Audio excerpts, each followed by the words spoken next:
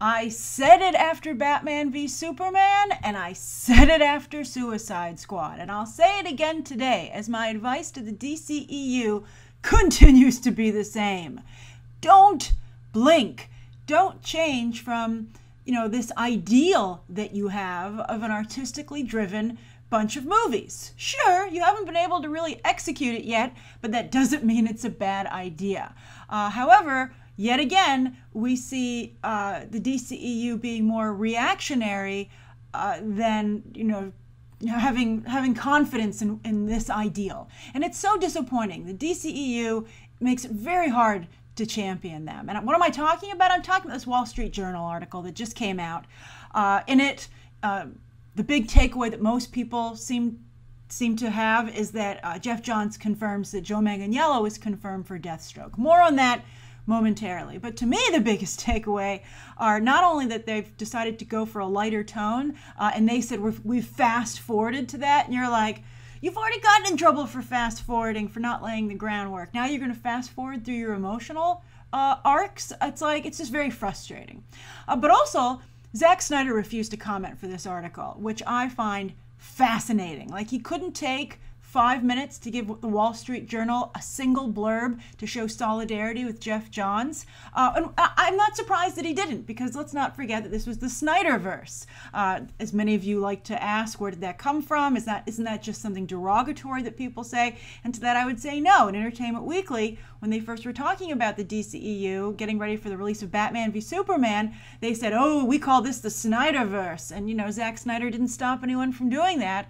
Uh, and so this used to be, he used to run the show. But now, of course, uh, Geoff Johns and uh, uh Berg, uh, I believe Jon Berg is the name, who, who's the Warner Brothers executive, you know, Geoff Johns representing DC, they're coming in here. And Geoff Johns is literally going to be writing these movies. They said that he is deep in being involved in the screenwriting process. And to that, I would say, uh, I think Geoff Johns is wildly uneven as a comic book writer, and I have not liked the New 52, and I have not liked Rebirth. And Rebirth, as I've said before, exists because the New 52 sales could not with could not um, hold up because while it had an initial big splash, they just were bleeding readers. And I worry about that for the DCEU. Very strong start. Will it bleed moviegoers if they continue this way? Uh, so I wonder if there will be a fracture going forward and if Zack Snyder will indeed continue to be involved. Maybe they didn't axe him from Justice League because they were about to go into production, uh, but I wouldn't be surprised if in the near future you get an announcement that he will not be directing the second Justice League movie, or any DC movies for that matter. So I'm really surprised. Um, I'm just surprised by the whole thing. Again, that it's so reactionary. And let's talk about Joe Manganiello. And they say, will he be in Justice League? He, you know, Geoff Johns only confirms that he will be in the upcoming solo Batman movie, which is a rumor that several uh, different sources at this point have already been percolating. So it's not like a huge surprise. Uh, but I, I will say uh, like, in fact, I covered it in my DC Rumors video uh, just last week, and I'll put a link to that down below. Uh, and uh, so this coming to lo- this coming to pass makes me believe that, as I did when I covered them, covered them, those rumors are true. Uh, but you know, the idea of uh, so they're like, is Deathstroke? He's in the Batman solo movie, but is he in the Justice League movie? And I'm like, of course he is, because how would, else would Ben Affleck film him, right? I mean, he's probably excited because he's like, I'm to get to play with that soon, I guess. Uh, but you know, the big thing is he's obviously going to debut in the Justice League film. But here's the thing. The only reason you would put Deathstroke in a DC movie is for action sequences. Like the guy's not like a big like a motor, right? Like he doesn't have a great human story. Um, you know, the most interesting thing about him actually is his daughter Rose. Uh, but anyway, I don't understand why you would have Ben Affleck handle that character because we all know that Zack Snyder, whatever you would say about Zack Snyder, as we've said before, as I've said before, he can do a great action sequence. And so everybody, of course, wants to see Deathstroke and Batman fight, which of course is famous for the uh, Arkham Origins short directed by Deadpool's Tim Miller. And if you watch that short, I'll put a link to that down below as well, you'll notice that Deathstroke moves a lot like Deadpool. Of course, the characters, Deadpool is largely believed to be a ripoff of Deathstroke. Uh, and so obviously Tim Miller used a lot of those moves for De- uh, Deadpool in his movie, and the action in Deadpool was ph- phenomenal. My number one request for the second Deadpool movie is more of that wonderful, beautiful action. Uh, but Ben Affleck is going to have a huge learning curve. I mean, Ben Affleck is an actor's director. He is a dramatic director.